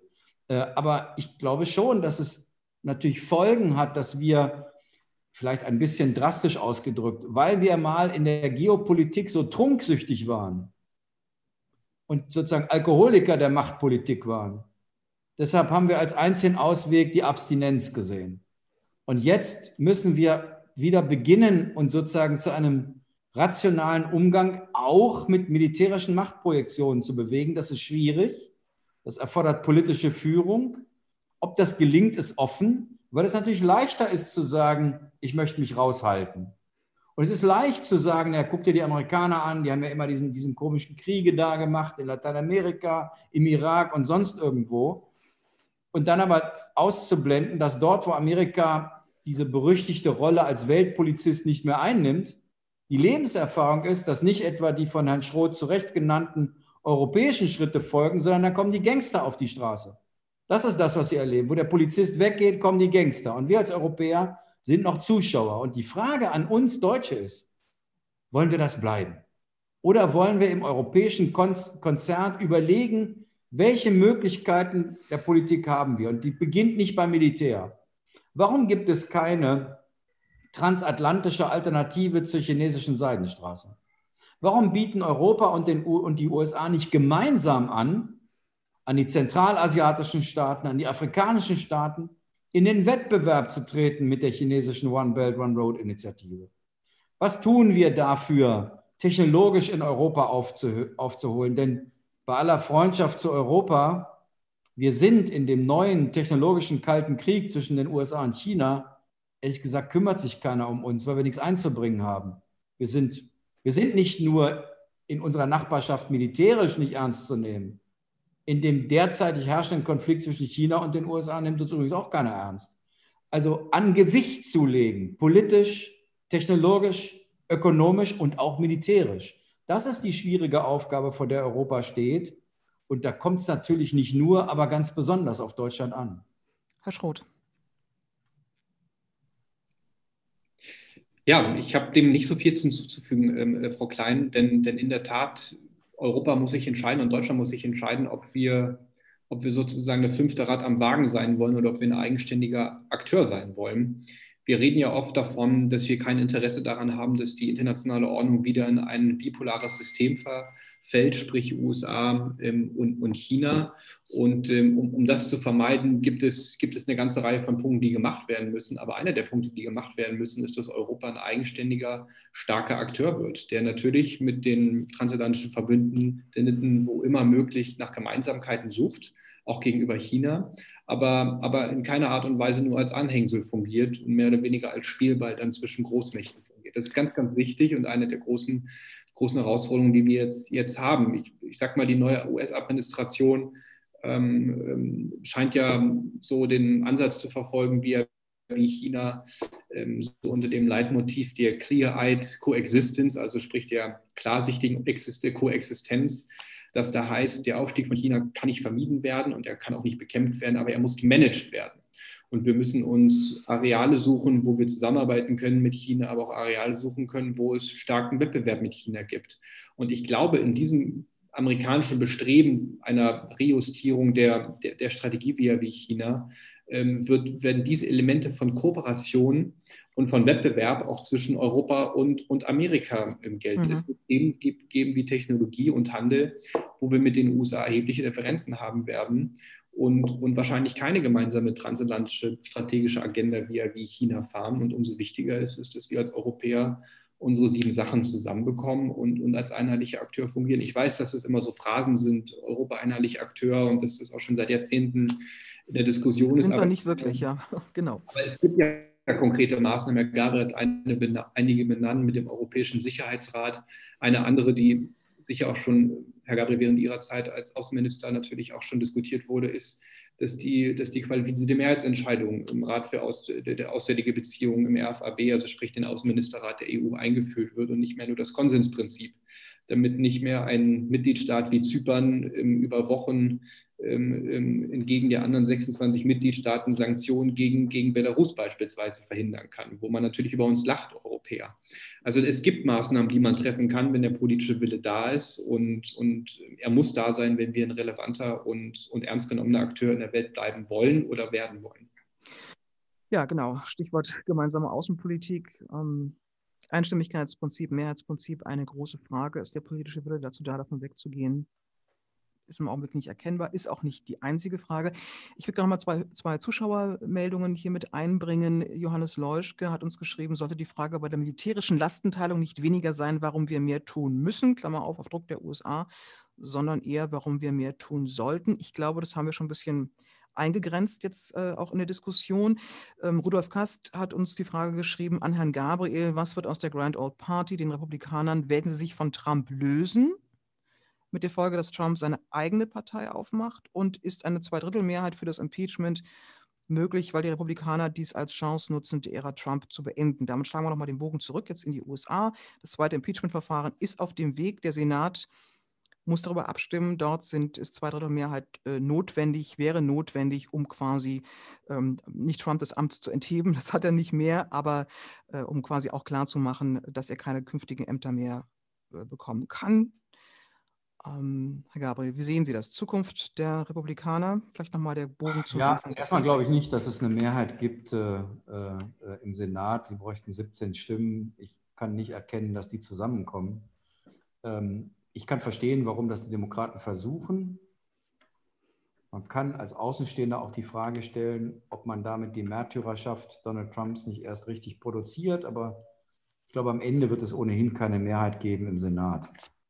Was wird aus der Grand Old Party? Äh, das ist die eine Milliarde Dollar Frage. Ähm, ähm, das, glaube ich, weiß die Grand Old Party, die Republikaner selbst noch nicht. Äh, das liegt einfach daran, dass natürlich viele da sind, die jetzt über Trump in Mandate gekommen sind. Nochmal, selbst nach dem Sturm auf Capitol Hill haben 100 republikanische Abgeordnete äh, versucht, die Wahl für gefälscht zu erklären. Es gibt eine beeindruckende Wählerkoalition, die Donald Trump geschaffen hat, von ganz unterschiedlichen Quellen übrigens. Und es gibt Teile der Republikanischen Partei, die sagen, die müssen wir erhalten. Damit werden wir automatisch beim nächsten Mal gewinnen, weil es Abnutzungserscheinungen bei den Demokraten und Joe Biden geben wird. Es gibt eine gegenteilige Auffassung auch, die sagen, erstens werden wir diese Form von Radikalisierung nicht beibehalten können, zweitens tut sie dem Land nicht gut und drittens eine viel erfolgsversprechendere Strategie ist, dass die Republikaner sich für neue Wählerschaften öffnen, denn äh, das dauert nicht mehr allzu lange. Dann werden die europäischen oder die Amerikaner mit europäischen Wurzeln die Minderheit sein in Amerika. Und es ist ja nicht so, dass lateinamerikanische Einwanderer per se erstmal progressiv sind, ganz im Gegenteil. Äh, also gibt es Leute bei den Demokraten, die sagen, Entschuldigung, bei den Republikanern, die sagen, lass uns mal lieber dahin gucken, wo wir neue Mehrheiten bekommen. Meine Vermutung ist, bis zu den Midterm-Elections wird das eine umstrittene Frage bleiben. Donald Trump hat das Interesse, weiter sozusagen über einen Teil der Republikanischen Partei im wahrsten Sinne des Wortes die Gewalt zu haben. Ich glaube im Wesentlichen aus ökonomischen Gründen. Es ermöglicht ihm, Parteispenden zu mobilisieren, die er, glaube ich, ziemlich braucht derzeit. Äh, ich habe Zweifel daran, dass es zu einer Parteispaltung kommt. Warum? Weil das Mehrheitswahlsystem eigentlich dagegen spricht. Mhm. Das, das funktioniert nicht so richtig gut in einem solchen Parteiensystem. Aber ich glaube jedenfalls, eins wird nicht gelingen. Sie werden das Land miteinander nicht versöhnen ohne die Republikaner. Das ist das Problem für Biden. Biden hat ja auch keine ganz bequeme Rolle. Er möchte gerne, auch weil er erfahren ist im Senat, Zusammenarbeit mit den Republikanern ermöglichen, hat aber einen linken Flügel in der Demokratischen Partei, die das bereits vorher als Hochverrat bezeichnet. Das heißt, er ist auch in einer Sandwich-Situation. Seine Spielräume sind auch nicht überbordend groß. Und äh, man kann nur von Glück reden, dass er eben so ein erfahrener äh, Politiker ist, der übrigens außenpolitisch vermutlich der erfahrenste Präsident seit langem in den USA und innenpolitisch jemand, der doch über viel persönliche Kontakte auch in die Republikanische Partei hinein verfügt. Mhm. Das ist ein bisschen meine Hoffnung, dass das gelingen wird. Nochmal an Herrn vielleicht die Frage. Klar, Joe Biden als jemand, der viel Zeit im, im amerikanischen Kongress verbracht hat, dem, es, dem man zutraut, auch eher die Verbindung herzustellen, eben auch über den äh, berüchtigten Graben hinweg äh, Politik zu machen. Damit vielleicht mal verbundene Frage, die wir noch nicht besprochen haben heute. Ähm, ist der Trumpismus mit Trump Geschichte. Simon Gabriel hat am Anfang ja darauf hingewiesen, auf die strukturellen Probleme, vor denen Amerika steht und uns vielleicht vormacht, äh, zu sagen, äh, ähm, ist ins Extrem getrieben, Probleme, vor denen wir im Grunde genommen äh, alle stehen. Aber von Trump hört man nicht mehr so sehr viel. Warum? Weil Twitter ist abgeschaltet, Facebook ist abgeschaltet. Wir sind ja doch irgendwie in einer etwas anderen ähm, Welt und Zeit. Also wenn dieser Faktor dieser besonderen Persönlichkeit, ich möchte mich jetzt zurückhalten mit Beschreibungen, wegfällt, der eben nicht in der Lage sein wird, sozusagen seine Anhänger auf die Art und Weise aufzuheizen, muss man zu sagen. Äh, wie stark wird diese Form des Populismus, glauben Sie, Herr Schroth, weiter existieren in den Vereinigten Staaten und möglicherweise auch zu einem Problem für die Demokratie werden? Trump ist ja, ich sage mal, in gleicher Rolle Brandbeschleuniger und, und Auswuchs des Populismus in den Vereinigten Staaten und Auswuchs des, der Unzufriedenheit der Leute mit dem System, mit ihrer eigenen sozioökonomischen ähm, Lage, sicher auch mit, mit anderen Identitätsfragen. Ähm, und deswegen ist mit dem Abgang von Trump aus dem Weißen Haus jetzt der Trumpismus überhaupt nicht vorbei. Ganz im Gegenteil. Trump hat ja auch schon angekündigt, er wird sich andere Plattformen suchen, um entsprechend politisch aktiv zu bleiben. Und man muss sich ja wirklich mal vor Augen halten, nach diesen vier Jahren 70 Millionen Leute an die Wahlurne für sich zu bekommen, ähm, das, das ist ja sozusagen auch Ausdruck des wahnsinnigen Mobilisierungspotenzials, das er hat für die Republikaner. Es gibt einen erheblichen Teil an Mitgliedern im Repräsentantenhaus, die ja durch, durch diese Trump-Welle auch dieses Mal wieder mit reingespült worden sind. Der der Vorsprung der Republik, der, der, Demokraten im Repräsentantenhaus ist ja bedenklich geschrumpft und es wäre wahrscheinlich ohne Trump kaum, kaum möglich gewesen. Deswegen der Trumpismus ist nicht vorbei, und mit oder ohne Trump und Trump wird ähm, vielleicht in der einen oder anderen Rolle auch wieder auf der, auf der Bühne erscheinen, aber die Ursachen dieses Populismus und die Ursachen von Trump, die sind ja nach wie vor da und die sind auch nicht weg mit, mit seinem Abgang aus dem, aus dem Weißen Haus. Ich möchte nochmal unterstreichen, was was diesen Ansatz angeht, ist der, der Bipartisanship. Also, dass man versucht, wirklich auf beide Seiten, both sides of the aisle, ähm, wie man in Amerika so schön sagt, also auch beide Lager zuzugeben. Und das wird eine der größten Herausforderungen für Biden werden. Das ist bei jedem amerikanischen Präsidenten so, weil die amerikanische Gewaltenteilung der Normalzustand ist, dass ein Präsident zumindest in einer Kammer des Parlaments eine Mehrheit gegen sich hat von der anderen Partei, aber angesichts des 6. Januars und der vergangenen Jahre ist es jetzt, ist es jetzt umso wichtiger. Und ich hoffe, dass das, dass das gelingt. Und ich nehme so ein bisschen mit Sorge zur, ähm, oder nehme mit Sorge wahr, dass jetzt der Plan von Biden für das 1,9 Billionen Dollar Relief Package, ähm, dass jetzt schon die ersten Töne sozusagen kommen, ähm, ja, wir, zu, zum Not peitschen wir es halt nur mit demokratischer Mehrheit durch. Also einem staatstragenden Thema wie ein Relief Package kann das ja auch Sinn machen und er hat ja die Mehrheit und wenn er die Mehrheit hat, sollte er sie nutzen. Aber bei einem, ich sag mal, so gigantischem Vorhaben wie das, das er jetzt, das er jetzt dort plant, ähm, wäre es durchaus wünschenswert, wenn, wenn, man, wenn man versucht, weil es ja auch mehr oder weniger ähm, eine, eine nationale Notsituation ist, die ja nicht nur Demokraten und Republikaner betreffen, sondern wirklich alle, hier, hier zu versuchen, ähm, eine Einigung, möglichst breite Einigung hinzubekommen. Ich hoffe sehr, mhm. dass er das schafft und, und es bleibt ihm Glück zu wünschen, weil wir erinnern uns ähm, an, an, andere Präsidentschaften, wo in den ersten 100 Tagen ähm, diese Strohhalme nicht genutzt worden sind, auch vielleicht von der Opposition nicht genutzt worden sind. und dann die nächsten vier Jahre leider sehr stark das Lagerdenken dominiert hat. Und das brauchen wir jetzt wirklich nicht und das braucht Amerika vor allem nicht. Okay, vielen Dank zunächst nochmal dafür. Da wir so langsam auf der, das Ende dieser Veranstaltung zusteuern, äh, würde ich ganz gerne nochmal die Bilanz ziehen. Wir haben jetzt viel über die Situation gehört in den Vereinigten Staaten, auch in der Welt und ich glaube auch äh, viel diskutiert über den Punkt, wie können wir in der Weltpolitik zusammenarbeiten, wo es gibt Unterschiede, wo gibt es auch Herausforderungen an Europa und auch an Deutschland. Vielleicht können wir zum Abschluss dieser Runde hier nochmal so ein bisschen runtergehen auf die Zivilgesellschaft, runtergehen im Sinne von runterbrechen zu uns allen, uns allen Menschen, denn wir haben ja, wollten ja eigentlich wissen, wie kommen wir da raus? Weltpolitisch, glaube ich, haben wir da ein bisschen was zu gesagt, aber was kann das sozusagen jetzt auch das deutsch-amerikanische Verhältnis, europäisch-amerikanische Verhältnis jetzt auch wieder ähm, beflügeln auf einer sehr zivilgesellschaftlichen Ebene? Herr Schroth, vielleicht beginnen Sie mal, ähm, welche Gedanken brauchen wir da, die wir jetzt noch nicht diskutiert haben? Sie müssten sich oh. mal muten. Sorry, jetzt bin ich hier einmal kurz runtergefallen von meinem kleinen Bücherstapel. Sie meinen jetzt speziell die zivilgesellschaftliche Ebene, ja? Die, die, die Ebene der Bürgerinnen und Bürger auf beiden Seiten des ähm, Atlantiks. Sie haben die Organisation der Jungen Atlantiker gegründet. Herr Gabriel, Chef der Atlantikbrücke. Äh, also zwei Gremien, die ja nicht nur auf der hohen Politik sozusagen ja. agieren, sondern sich auch sozusagen die Freundschaft über den Atlantik hinweg ähm, zum Ziel gesetzt haben. Ja, ich kann bei der Gelegenheit vielleicht ein, zwei Sätze kurz zur Organisation machen, ohne jetzt hier Product Placement zu machen. Also das ist ein ehrenamtlicher Verein, der sich vor allem den, den Beziehungen in den jungen Generationen auf beiden Seiten vom Atlantik widmet. Denn die deutsch-amerikanischen Beziehungen leben ja auch sehr stark neben den gemeinsamen Interessen und Werten vom historischen Fundament, Luftbrücke, Marshallplan, ich bin ein Berliner und so weiter und so fort und die Organisation hat sich zur Aufgabe gemacht, zu fragen, was ist eigentlich das Narrativ für eine Generation, die diese historischen Wegmarken im deutsch-amerikanischen Verhältnis nicht selber mitgemacht haben.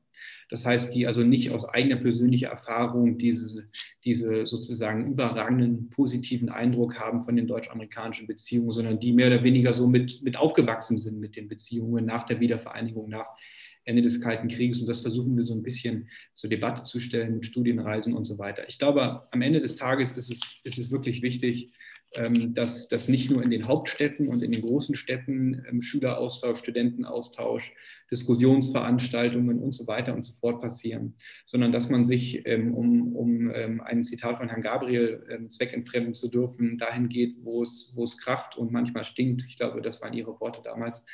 Ähm, Damit war allerdings ähm, eh gemein.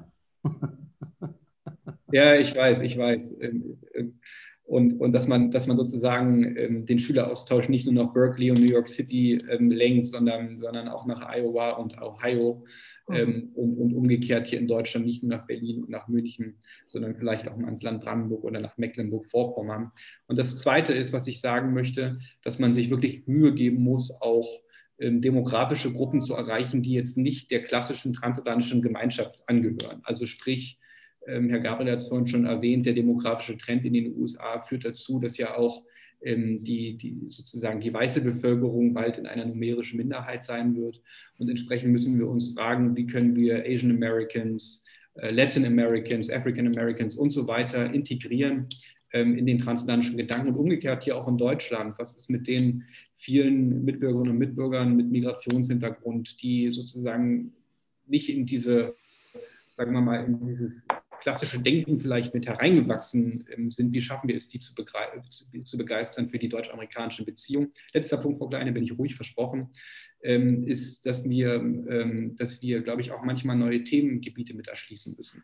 Beispielsweise, was können wir beim Thema Migration voneinander lernen? Was können wir beim Thema Klimawandel voneinander lernen? Digitalisierung, die ganzen großen Themen, Handel, Sicherheitspolitik, die sind alle wahnsinnig wichtig und müssen weiter beackert werden. Aber eine der Stärken dieses Bündnisses ist es ja, die unglaubliche Breite und Vielfalt an Themen besprechen zu können. Und das sollten wir mehr nutzen. Und ich glaube, so kann auch Vertrauen, Austausch, Verständnis entwickelt werden. Vielleicht können wir auch einen kleinen bescheidenen Beitrag dazu leisten, dass auch ein Gräben, ein Graben, der ein oder andere Graben in Amerika mit zugeschüttet werden kann, wenn auch für unsere amerikanischen Freunde der Blick über den Atlantik geweitet wird und natürlich auch.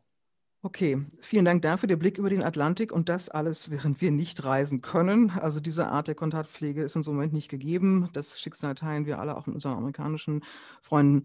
Herr Gabriel, zum Schluss der Veranstaltung nochmal vielleicht ein positiver Ausblick. Brücken bauen, Atlantikbrücke. Wir haben sozusagen, glaube ich, jetzt relativ kritisch auch die Situation äh, beschrieben. Stichwort, wie kommen wir da raus und wie kann es sozusagen eine, auch wieder eine, eine Annäherung, eine Festigung des transatlantischen Verhältnisses auch auf Bürgerebene geben? Ja, das ist schon so, wie das Herr Schrott geschildert hat. Wir haben traditionelle transatlantische Beziehungen auf der Ebene der Bürgerschaft, der Zivilgesellschaft, die sag mal, eher geprägt sind, erstens von West- und Ostküste in Amerika und zweitens im Wesentlichen das ähm, weiße Amerika, ähm, bei denen ich noch zu der Generation der Jüngeren gehören würde. Also das ist schon das Problem. Ähm, wir haben deshalb in der Atlantikbrücke auch mit Hilfe der Bundesregierung so ein Programm vorgeschlagen. Da fangen wir jetzt an, dieses New America. Ähm, also das Amerika von morgen, das ist eben in der Mehrheit asiatisch, abstämmig, afroamerikanisch, lateinamerikanisch. Und am liebsten würde ich mir wünschen, wir hätten so ein großes europäisches Senator Fulbright-Programm. Das ist ja ein Programm, wo die Amerikaner nicht Schüler und Studenten aus der Welt zu sich einladen, sondern vor allen Dingen Leute, die so am Beginn ihrer Karriereschritte sind, die schon ihre Ausbildung abgeschlossen haben. Äh, müssen die noch unter 40 sein. Und die Leute aus Medien, aus Wirtschaft, aus Kultur, aus Journalismus, aus Politik einzuladen und denen zu zeigen, was Europa eigentlich ist, äh, was Deutschland ist, das glaube ich, brauchen wir. Denn es gibt keine Selbstverständlichkeit mehr, dass ein paar tausend GIs ein paar Jahre lang in Deutschland sind, hier heiraten, Kinder kriegen. Und wenn Sie nach Harvard gehen, ich, ich da, äh, bin da in, am Center for European Studies, das ist inzwischen schwierig, junge Studierende, wenn sie sich für Politik oder Geschichte interessieren, für europäische oder gar deutsche Politik und Geschichte zu interessieren. Das ist auch ganz logisch, wenn die eigenen Eltern aus Asien kommen oder die Großeltern aus Afrika oder aus Lateinamerika und man historisch oder politisch interessiert ist, guckt man eher in diese Region und nicht ins, nicht ins alte Europa. Und das kann man ändern, dadurch durch Maßnahmen, die Herr Schrozi beschrieben hat. Ich finde diese Idee junger Transatlantiker super. Und ich glaube, man kann es auch auf staatlicher Ebene, indem man solch, so einen Austausch richtig organisiert angeht und pro Jahr ein paar tausend junge Amerikaner nach Europa holt äh, und ihnen hier anbietet etwas, was sie vielleicht sonst nicht erleben werden. Das wäre mein Vorschlag. Vielen Dank. Are we still friends? Das war das Thema der Veranstaltung heute. Ich hoffe, wir wissen jetzt ein wenig mehr, wie wir Freunde bleiben oder werden können. Sigmar Gabriel, herzlichen Dank an Sie und an Jakob Schroth. Und ich würde hiermit das Wort nochmal an Daniel Messner, Messmer geben vom Deutsch-Amerikanischen Institut. Ja, vielen Dank und auch ein ganz großes Dankeschön von meiner Seite erstmal für die tolle Moderation. Vielen Dank, Herr Gabriel, Herr Schroth. Vielen Dank für die angeregte Diskussion. Äh, es ist doch schön zu sehen, dass auch wenn man im Grunde dieselbe Richtung teilt, dass man doch noch Punkte hat, über die man sich angeregt austauschen kann. Vielen Dank an unser Dolmetsching-Team, das uns ermöglicht hat, diesen Vortrag oder dieses Gespräch noch einem breiteren Publikum zu öffnen. Vielen Dank an unsere Unterstützerinnen bei der Friedrich-Ebert-Stiftung, bei der Kreissparkasse Tübingen und bei den Stadtwerken Tübingen und natürlich ein ganz großes Dankeschön an Sie fürs Zuschauen, fürs Dabeisein, fürs angeregte Fragen stellen. Wir sind leider bei weitem nicht durch alle Fragen gekommen, aber ich glaube, das zeigt ja eigentlich auch gerade den Wert von solchen Gesprächen. Also wirklich ist, wir hätten hier noch Stunden weitermachen können und ich glaube, die Themen wären uns so schnell nicht ausgegangen und auch die Fragen nicht. Und ich glaube, das zeigt, das, was ich jetzt von hier mitnehme, ist wichtig, dass wir im Austausch bleiben. Und ich hoffe, wir konnten heute unseren Beitrag dazu leisten, diesen Austausch fortzuführen und weiter am Laufen zu halten. Und ich bin sehr gespannt, was die Zukunft bringt. Und wer weiß, vielleicht, wenn wir das nächste Mal Bilanz ziehen, hat sich schon so einiges geändert. Und ich bin gespannt, wo der Weg hinführt. Vielen Dank, dass Sie dabei waren. Schauen Sie gerne wieder mal bei uns vorbei. Und ansonsten bleibt mir nur noch zu sagen, schönen Abend und bis zum nächsten Mal. Vielen Dank, schönen Abend. Tschüss.